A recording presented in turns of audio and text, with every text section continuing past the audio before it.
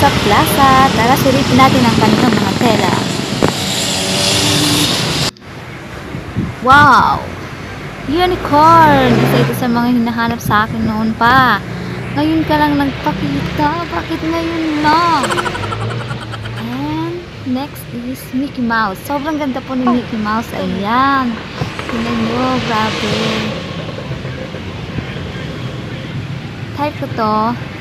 At ipapakilo din natin to kay Kuya mamaya. Silip muna tayo ng ibang tela guys. Oh. Wow.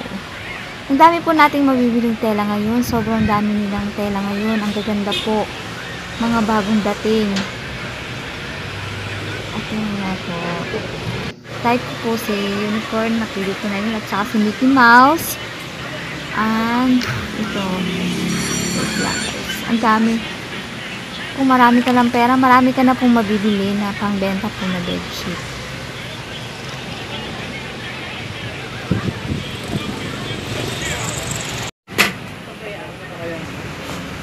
Ayan po. Mga limang kilo. Saka yung Mickey Mouse, kuya, ha?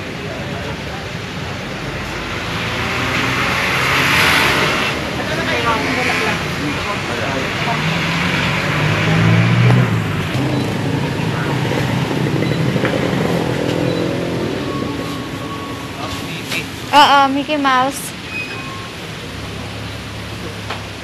150 per kilo. Ang haba nga niyan eh.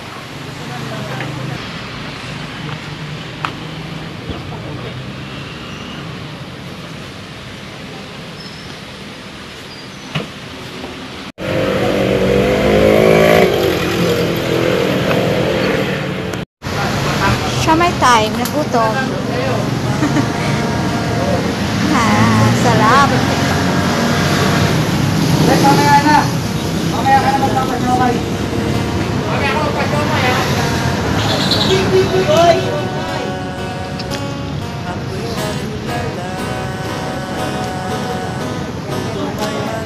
lang din oh.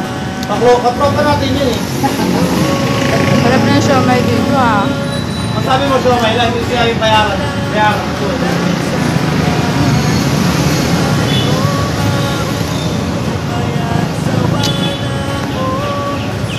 Sakay mo na nga yung Buboy. May dala ka bang motor? Hoy. Dala kang motor. So, ayan guys, nakat ko na po yung mga tela. Ayan, na pinamili ko sa Taytay kasi order to ng buyer ko. Tatlong king size. Ayan. Ito yung punda at ito naman po yung sa bedsheet. O, diba? Bali sa isang kilo po niyan ay kakagawa na kayo ng isang bedsheet at dalawang punda. Okay?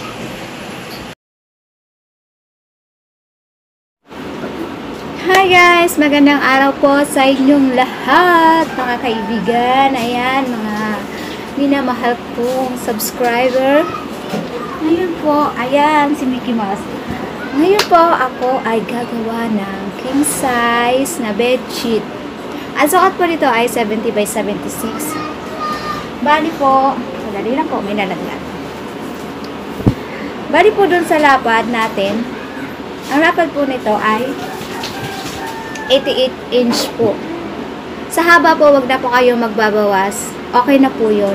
Uh, siguro, minsan, dahil naiinis ako dito sa mga mulmul na to, ayan, tinatanggal ko po yan, pero konti lang. No, huwag kayo magbawas naman po. Okay na siya. Dito lang tayo sa haba. Ay, sa lapad. Ato po ay 88 inch. Ayan, nakat ko na po yun. 88 inch po ito. 88 inch at wag na rin po kayo magbabawas ng haba. Sasama na po yung 9 inch na pang box natin. Kasi di po ba magbabox tayo dyan.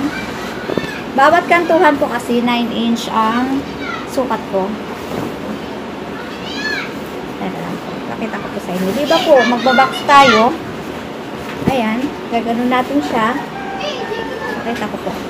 Diba? Sa box ng kantuhan.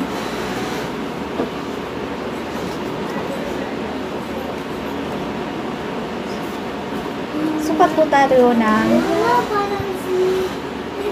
9 inch.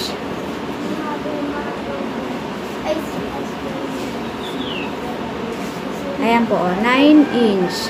Yung pang box po natin. Apat na box po yan, 9 inch. So, ayan guys. Pwede-pwede na kayong gumawa ng king size. Sa king size nga pala, kasi bumi, bumibili po ako minsan isang kilo. Nakakagawa po yun ng dalawang punda at isang bedsheet, o ba? Per kilo po yung binibili ko, tag 200 po sa taytay. Mm, ayan. At ito pa po, si unicorn. King size din po ang gagawin ko dito. Sa mga gusto pong magnegosyo ng ganito, okay po siya. Uh, soon to be, magkakaroon na po ako ng Shopee. Ayan, malapit na po yung Shopee. Sana po ay marami akong maging customer doon. Maraming mag-order. Sa mga kaibigan ko po, oh, ayan po, oh. Ganda po yung tela ko, Canadian, 100% pure cotton, non-faded po yan. At hindi po nagmumulmul. Pwede pong kumot, pwedeng kortina, at ito pa po. Ganda po niya, oh. Ayan po, type ko nga siya eh. Type ko siya sa bedsheet ko. Ayan po, mga kaibigan ko. Ayan, di ba? Ganda ng kulay. O, di ba? Ganda po ako nabili. so, ayan, kailangan ko na po itong gawin mamaya dahil uh, bukas ay kailangan po yan. So, guys, naituro ko na ano eh. Sa single naman po, uh, next video ko po, ituturo ko po sa inyo kung at sa ipati na rin po yung double, family in queen kung ilang po yung ma, maano yung tela doon. At kung ilang punda din po yung maigagawaan nyo doon sa isang kilo na mabibili nyo sa taytay 200 per kilo ko po nabibili. At katulad po dito kilo-kilo ko siya binili 200 nakagawa na po ako ng king size at dalawang punda. At yung may natira pang tela uh, dalawang square kilo pa yung nagawa ko. Ayan nakagawa pa ako ng square kilo Oh, maibibenta ko to dito. Kahit pa paano. Ayan, Scorpio. Pina-overlock ko na po yan. May 18 na. So, ayan guys. Maraming maraming salamat. Sana po ay may natutunan kayo sa aking video na ito. At, eh pala po, ipapahabol ko rin po. Ah, maraming maraming salamat po kay Ate Mercy Vlog. Ayan po. Hi po kung na, napapanood niyo po yung video ko at natuto po ako sa inyo ng how to make a table lace. Ngayon po ay nakakapagbenta na ako ng table lace dito sa aking bahay, sa mga kaibigan ko, at all around po. So, diba? So, yan guys, maraming maraming maraming maraming salamat po